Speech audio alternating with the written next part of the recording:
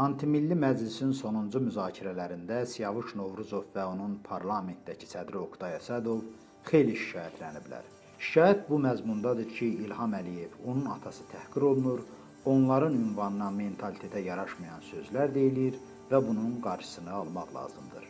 Onların sözündə həqiqət var. Belə hallar həqiqətən müşahidə olunur. Biz şahidik ki, sosial şəbəkələrdə, müxtəlif internet resurslarında hakim ailə çox amansızlıqla atəşə tutulur. Gəlin etiraf edək ki, Azərbaycan coğrafiyasında ta əzəldən heç bir hökmdar kütlənin dili ilə İlham Əliyev qədər yüksək həcm və intensivliklə aşağılanıb hörmətsiz edilməyiblər. Bəli, bu yeni fenomendir. Kütlə psixologiyası barəsində kitab oxuyan, müəyyən bilik sahibi olan hər kəs dediklərimə görə mənə şahid duracaq. Adətən belə olur. Hətta yaxşı keyfiyyətləri ilə seçilən hökmdar taxtdan düşəndə kütlə ona qarşı rəhmsiz davranır. Onu tapdalamağa, alçatmağa məcal axtarır. Kütlə gücsüzü sevmir, ona qəzəb duyur. Amma gərdişi dövrana bax. Əliyev taxta olduğu halda o yıxılmış hökmdarların aqibətini yaşayır.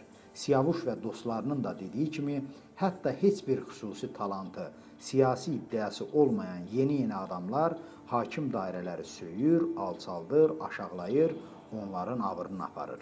Elə bilirsiniz ki, Əliyev özü siyavuşları, zahid orucları dilə gətirən bu şeyləri görmür, hiss etmir, edir, edir. Tam əmin olun. Kim bilir, hər səhər yuxudan onu gecə ilə bir ixtiyar, göz yaşı ilə islatdığı yastığının nəmi oyadır. Mövzunun istiqamətini dəyişməyib bir daha təsdiqləyək. Siyavuş da, Oqtay da orasını düz deyir ki, hakim ailə hər gün daha çox, daha amansız qaydada geniş xalq kütlələri tərəfindən yerdən yerə vurulur, onların arasında söyüşlər, alçaldıcı ifadələr də var. Niyə belə oldu və ya olur? Budur əsas məsələ. Hakim rejim, o parlamentdə oturanlar hətta bu ağır günlərində də görürük ki, düçar olduqları bəlaya düzgün diaqnoz qoya bilmirlər, yaxud buna təfəkkürləri imkan vermir. Onlar unudur ki, söyüş söyənlərə nümunəni, cürəti, ixtiyarı özləri verib. Axı biz elə o parlamentin tribunalarından, teleefirdən hakimiyyət nümayəndələrinin latayırlarını az eşitməmişik. Axı hamının gözünün qabağında olan hadisədir. Bu adamlar onların normal etik və hüquqi qaydalar çərçivəsində tənqid edən müxalifətçiləri, azad söz adamlarını ağır formada söydüyünə görə bir çoxların deputat, icra başçısı və s. ediblər. Bəli, məhz normal tənqidçiləri söydüyünə, təhqir etdiyinə görə Azərbaycanda deputat, icra başçısı qayranlar var. Bunları kim bilmir ki?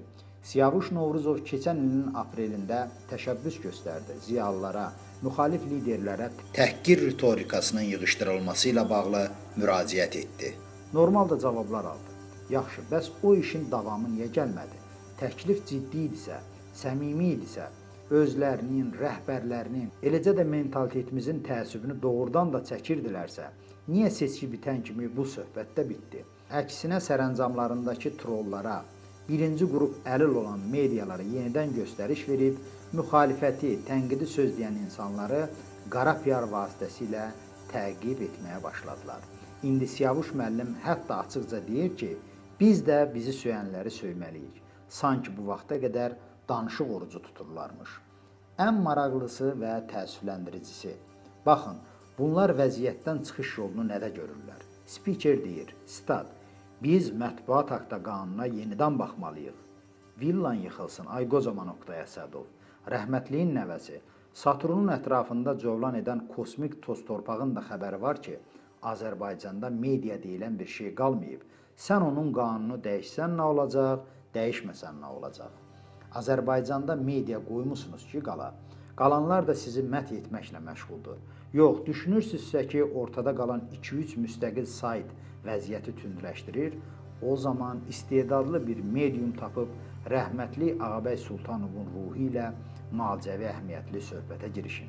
Bilmirəm bunu deməyin indi sizin üçün bir əhəmiyyəti var ya yoxdur, amma yenə deyim.